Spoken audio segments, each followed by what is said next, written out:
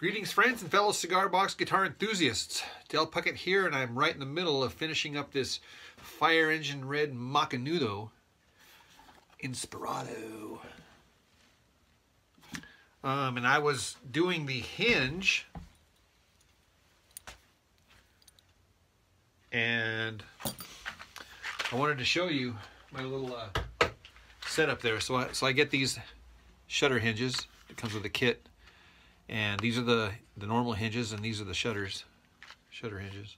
So check this out.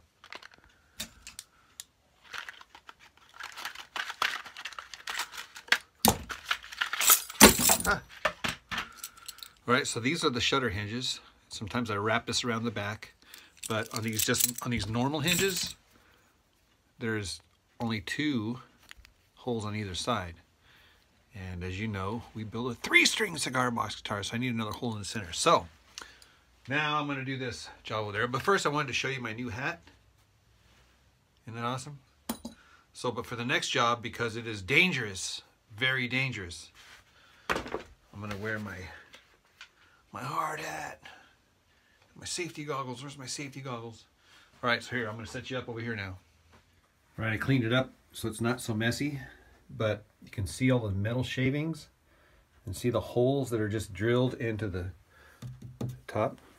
So what I do is I get the hinge and I fold it in half and then I get these big fat screws here and just push it through the holes. And this is just to hold it in place, okay? That's all it is, just to hold it in place. Because the last thing you want is for this bit to get a hold of that guy and spin that sucker like a propeller. I mean, seriously, these edges are sharp, and that would be just like a, a blade, and that would be very, very, very dangerous. So, I don't just do the screws to hold it down, but also as a safety precaution to keep myself from getting cut. Better safe than sorry.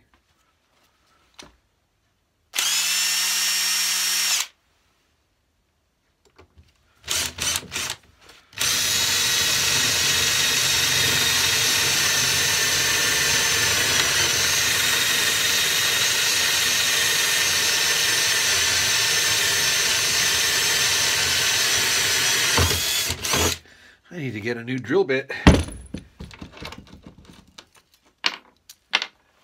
Ta-da!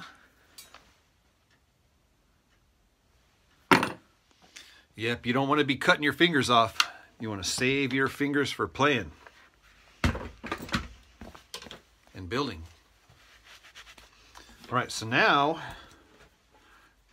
install the hinge, ground the strings, build a saddle, string it up, and then, all right, we got the strings on, and it's intonated and tuned up. The strings are stretching. A couple of things I wanted to point out. First off, so we are tuned E, B, E, ish, because the strings are stretching. And I just found out that this beer bottle is E.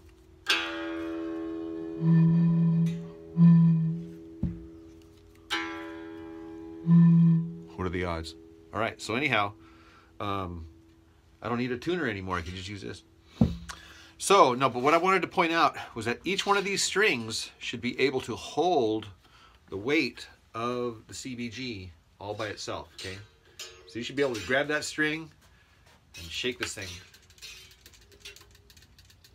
Okay, you can do it for all the strings. You can do it even for the skinny strings. These are not the skinny strings, but on a regular guitar, you could even just take that the skinny string and like even a Les Paul or a Strat or one of them real expensive guitars. Do this, people be like, what the heck are you doing? No, these strings are strong, man, seriously. So you can uh, stretch them out with confidence. These are the settings. No effects, everything is straight up. So first off, the piezo.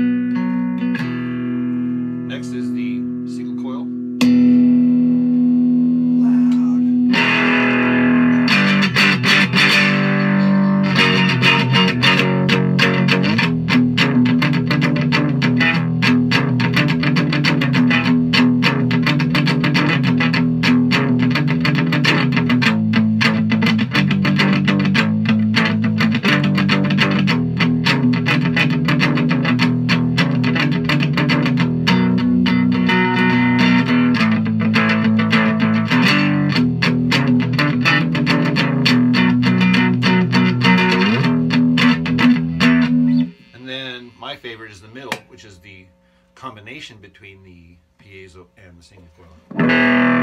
Wow.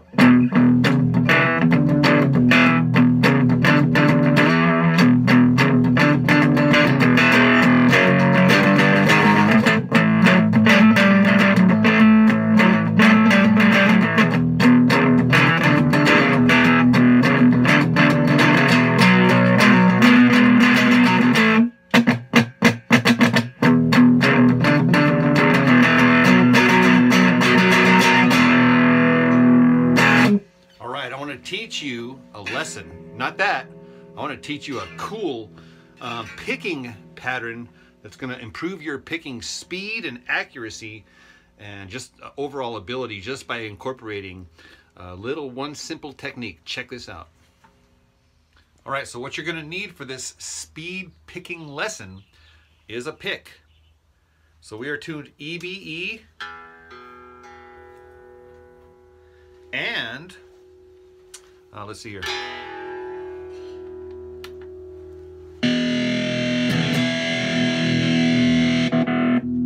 you a nice sound. Okay, so um, this is we're going to boil it down into two simple things. One of them is a pick up and then a pick down. Up, then down. So on the pick up, it's going to be the open string. And then when we pick down, we're going to do a double pull off. In this case here, I'm just on the uh, third and fourth, but we're going to do it all over the fretboard. But for this example here, we're doing a third fret and a fourth fret, or the third fret and the second fret, and it's just a double pull off where I'm going to pick the note once and pull it off twice. So it sounds like this. So again, we're going to start with an upstroke, and then a pick double pull off. That's the way it sounds. So this is like one motion. You just got to time that that this guy here with that second pick. So then you get into a little loop. Now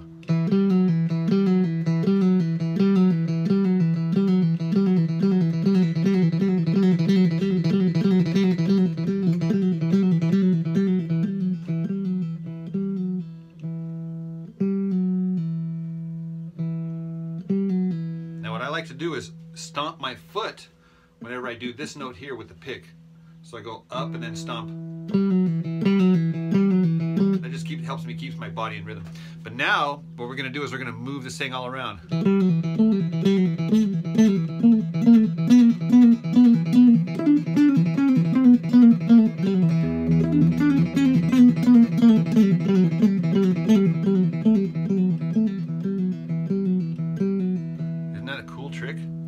What you can also do is start jumping strings. And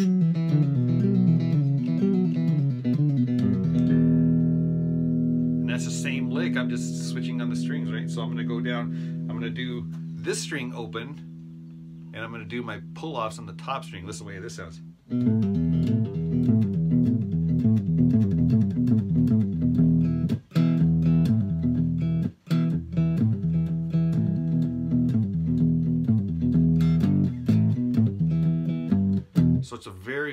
Versatile little trick that you can get miles and miles and miles and miles and miles out of that thing. So practice that.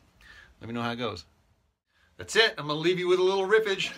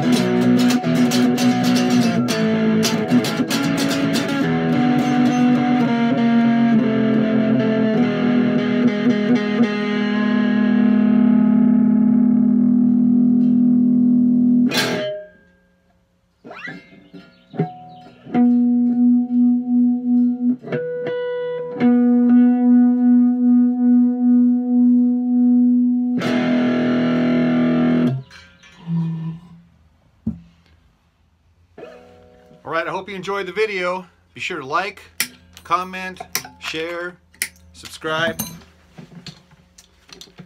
And I will see you in the next video.